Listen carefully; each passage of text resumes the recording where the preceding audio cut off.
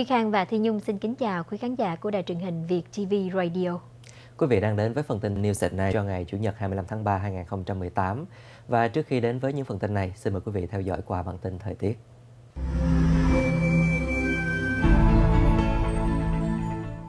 Và kính thưa quý vị, phần dự báo thời tiết được bắt đầu với thành phố Boston. Tại Boston, khí hậu vẫn còn rất lạnh với nhiệt độ cao nhất 38 và thấp nhất dừng ở mức 29 độ. Gió Đông Bắc thổi từ 10 cho đến 15 giờ một giờ và dự báo có mưa vào khoảng 10%. Trong khi đó, tại New York City, trời trong và đầy nắng với nhiệt độ cao nhất 48, thấp nhất dừng ở mức 34 độ. Gió Đông Bắc thổi từ 5 cho đến 10 giờ một giờ và trong ngày khô ráo không có mưa. Tại Washington DC, bầu trời nắng đẹp với nhiệt độ cao nhất 50 và thấp nhất dừng ở mức 32 độ. Gió Đông Bắc thổi từ 5 cho đến 10 và 1 giờ và mưa dự báo 10%. Tại Atlanta, bầu trời có nhiều mây với nhiệt độ cao nhất 49, thấp nhất 45. Gió đông thổi từ 10 cho đến 15 và 1 giờ và mưa dự báo 20%. Tại Orlando, tiểu bang Florida, khí hậu khá dễ chịu với nhiệt độ cao nhất 78, thấp nhất dừng ở mức 65 độ. Gió đông bắc thổi từ 10 cho đến 15 giờ một giờ và mưa dự báo 20%. Tại Chicago, bầu trời chủ yếu là mây với nhiệt độ cao nhất 48, thấp nhất là 44 độ. Gió đông nam thổi từ 10 cho đến 15 giờ một giờ và vào chiều tối dự báo mưa lên đến 100%. Chuyển sang Dallas tại tiểu bang Texas, bầu trời có nhiều mây với nhiệt độ cao nhất 82 và thấp nhất vào khoảng 67 độ. Gió Nam thổi từ 15 cho đến 20 dặm một giờ và mưa dự báo trong ngày lên đến 80%. Trong khi đó, Houston mây rải rác và nắng nhẹ trong ngày với nhiệt độ cao nhất 85, thấp nhất vào khoảng 70 độ. Gió Đông Nam thổi từ 15 cho đến 20 dặm một giờ và mưa dự báo vào khoảng 20%. Tại Seattle, mưa vào buổi sáng và kéo dài trong ngày với dự báo có mưa lên đến 80%. Nhiệt độ cao nhất vào khoảng 48, thấp nhất là 46, gió Nam thổi từ 10 cho đến 15 giờ một giờ. Tại San Jose, khí hậu mát mẻ với nhiệt độ cao nhất 64 và thấp nhất là 45 độ. Gió Tây Bắc thổi từ 10 cho đến 15 giờ một giờ và dự báo có mưa chỉ vào khoảng 10%. Và cuối cùng là tại Los Angeles, Khí hậu tuyệt đẹp với nhiệt độ cao nhất 70 và thấp nhất vào khoảng 51 độ. Gió Tây Bắc thổi từ 5 cho đến 10 giờ một giờ và trong ngày khô ráo không có mưa.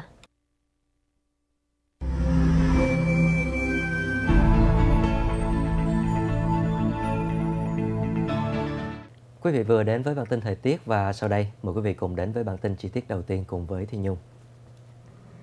Kính thưa quý vị, để mở đầu cho phần tin News at Night là các bản tin có liên quan đến tình hình trên thế giới cho biết. Argentina vinh danh một cựu chiến binh Anh quốc, người đã giúp tìm kiếm thi thể của các binh sĩ năm xưa. Một cựu quân nhân đã về hưu của Anh quốc có tên là Geoffrey Cardozo đã vừa được vinh danh tại thủ đô Buenos vào ngày thứ Sáu 23 tháng 3 vì đã giúp tìm kiếm thi thể của các cựu chiến binh Argentina từng bị thiệt mạng trong cuộc chiến năm 1982. Vào năm 1983, thể theo sắc lệnh của cựu Thủ tướng Anh Margaret Thatcher, sĩ quan Geoffrey Cardozo đã đi tìm kiếm thi thể của các binh sĩ tử trận, sau đó thành lập nên Nghĩa trang Darwin Cemetery. Cũng nhờ những nỗ lực của ông Cardozo mà vào năm 1997, các khoa học gia đã có thể sử dụng vết tích DNA để xác nhận danh tính của các binh sĩ Argentina.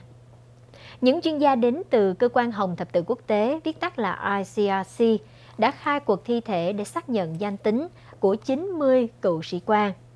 Trong cuộc chiến kéo dài hơn 2 tháng để giành quyền kiểm soát quần đảo Falklands, đã có 255 binh sĩ Anh quốc và 650 quân nhân Argentina bị thiệt mạng. Trong khi đó, thì một giáo sĩ Hồi giáo được miễn tội khủng bố tại Kosovo. Một giáo sĩ Hồi giáo được nhiều người biết đến tại Kosovo đã vừa thoát khỏi tội danh khủng bố và cực đồng bạo lực trong phiên tòa xét xử vào ngày thứ Sáu 23 tháng 3. Thể theo bản cáo trạng đệ trình lên tòa án, giáo sĩ Sequet Kansniki, người cai quản đền thờ Grand Mosque của Pristina, đã từng bị cáo buộc kêu gọi người dân Kosovo gia nhập vào hàng ngũ thánh chiến cực đoan tại các quốc gia Trung Đông như Syria và Iraq. Kaniski đã bị bắt giữ vào năm 2014. Ngoài tội danh khủng bố, đương sự còn phải đối mặt với tội trốn thuế. Do không nắm đủ chứng cớ nên các công tố viên không thể truy tố giáo sĩ. Kể từ năm 2012, có khoảng 300 người Kosovo đã rời bỏ quê nhà để sang Trung Đông, gia nhập vào nhóm phiến quân quốc gia Hồi giáo ISIS. Ngoài 70 người bị thiệt mạng, còn có nhiều người phụ nữ và trẻ em vẫn ở Iraq và Syria.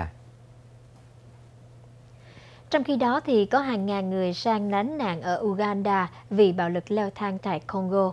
Cơ quan tị nạn Liên Hiệp Quốc viết tắt là UNHCR vào hôm thứ Bảy ngày 24 tháng 3 cho biết có khoảng 200.000 người dân bản xứ đã buộc phải rời bỏ nhà cửa ở Congo để sang tị nạn tại Uganda kể từ đầu năm cho đến nay, trong bối cảnh tình trạng đụng độ sắc tộc đang ngày một leo thang tại quốc gia Phi Châu này.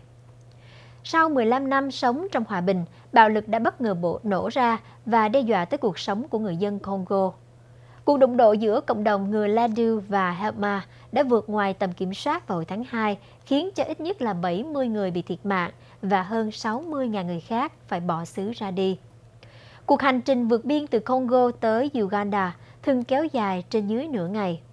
Kể từ khi Tổng thống Congo Joseph Kabila cương quyết không chịu từ chức vào năm ngoái, tình trạng khủng hoảng chính trị đang có nguy cơ đẩy Congo vào cuộc nội chiến thứ hai. Trong khi đó, thì Anh quốc lên án hành động trục xuất ký giả của Ai Cập. Giới lãnh đạo Ai Cập đã vừa ra lệnh trục xuất một viên ký giả người Anh quốc đang làm việc cho nhật báo The Times vào ngày thứ Bảy 24 tháng 3.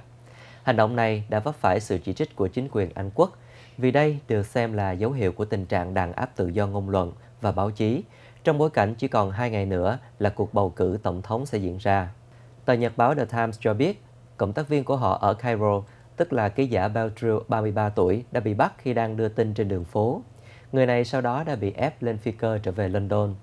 Bộ Nội vụ và cơ quan báo chí Ai Cập hiện vẫn chưa đưa ra bất kỳ lời bình luận nào về màn bắt bớ này, trong khi nhiều người đang kỳ vọng ông Abdel Fattah al-Sisi sẽ tái đắc cử kỳ nhiệm thứ hai trong cuộc bầu cử tổng thống ở Ai Cập. Vẫn có một số người cho rằng ông Sisi là một lãnh đạo độc tài, còn hơn cả cựu tổng thống Hosni Mubarak. Ủy ban bầu cử quốc gia đã cho biết tiến hình bỏ phiếu sẽ diễn ra một cách minh bạch và công bằng. Cảnh sát bắt giữ nghi phạm thứ hai có liên quan tới vụ tấn công tại miền Tây Nam Pháp Quốc. Giới chức trách của sở cảnh sát đã vừa bắt giữ được nghi phạm thứ hai, bị tình nghi có dính líu tới vụ tấn công ở mạng Tây Nam Pháp Quốc, vốn đã cướp đi sinh mạng của bốn người, đồng thời làm cho nhiều người khác hoảng sợ vào hôm thứ Sáu vừa qua. Một nguồn tin từ Bộ Tư pháp vào hôm thứ Bảy 24 tháng 3 cho biết, người này là một thiếu niên sinh vào năm 2000, đồng thời là bạn của tay súng 25 tuổi Ridwani Lakdim. Một phụ nữ khác liên quan tới kẻ tấn công cũng đã bị bắt. Tổng thống Emmanuel Macron cho rằng đây là một vụ tấn công có chủ đích theo đường lối khủng bố cực đoan. Trong lúc gây án, Reduani Nakrim còn lớn tiếng hô vang khẩu hiệu Allahu Amba, tức là God is great. Lakdim đã yêu cầu cảnh sát trả tự do cho kẻ tấn công khủng bố ở thủ đô Paris vào năm 2015, đó là Salah Adeslam. Một sĩ quan cảnh sát từng tự nguyện thế chỗ cho con tin đã bị Lakdim bắn trọng thương. Ông đã qua đời vào thứ Bảy do vết thương quá nặng. Bản tin châu Á cho biết Nam Hàn và Bắc Hàn sẽ tổ chức hội nghị thượng đỉnh vào ngày 29 tháng 3. Giới chức trách Hán Thành vào ngày thứ Bảy 24 tháng 3 loan báo, chính phủ Bắc Hàn đã đồng ý tổ chức một cuộc hội nghị thượng đỉnh với Nam Hàn vào ngày 29 tháng 3 tại ngôi làng đình Chiến bàn Mông Điếm, nhằm mục đích dọn đường cho một cuộc họp cao cấp khác vào ngày tháng 4 tới đây. Một phái đoàn ngoại giao gồm 3 người do giới chức Bắc Hàn Rison Won dẫn đầu sẽ tham gia vào cuộc họp nêu trên. Giới lãnh đạo Nam Hàn hy vọng cuộc gặp gỡ giữa Chủ tịch Bắc Hàn Kim Jong-un và Tổng thống Hoa Kỳ Donald Trump cũng sẽ diễn ra vào tháng 5 năm nay.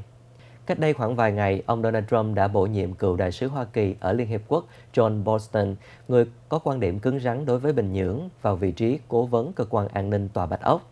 Thay thế ông McMaster cũng vì bất đồng quan điểm về Iran và các chính sách đối ngoại khác nên Tổng thống Donald Trump đã sa thải Ngoại trưởng Rex Tillerson vào ngày 13 tháng 3.